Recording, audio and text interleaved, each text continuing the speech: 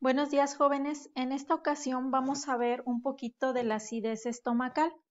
Bueno, vamos a ver que la acidez estomacal es una sensación de ardor dolorosa en el pecho o la garganta. Y esto ocurre cuando el ácido del estómago regresa al esófago.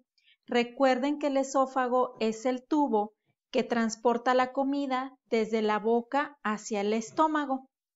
Bueno, cuando ingerimos alimentos, estos llegan al estómago y se mezclan con los jugos gástricos, que son una disolución de ácido clorhídrico, sales y enzimas. Pero cuando comemos alimentos muy pesados, en este caso, ¿cuáles serían los alimentos pesados? Bueno, pues irritantes, grasas, mucho cítrico.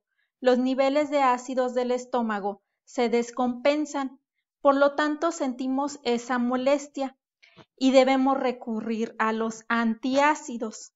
Bueno, los antiácidos van a ser lo siguiente.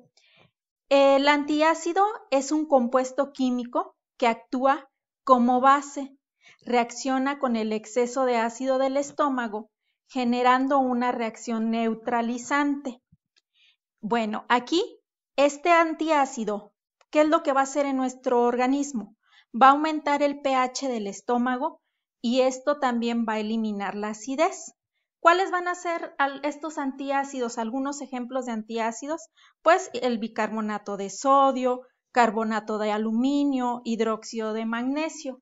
En esta ocasión, ustedes van a realizar la siguiente actividad.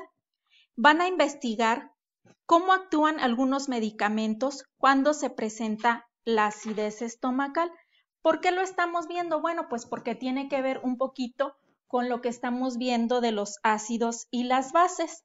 Bueno, eh, ya saben, lo van a realizar en su libreta de química en la parte de actividades.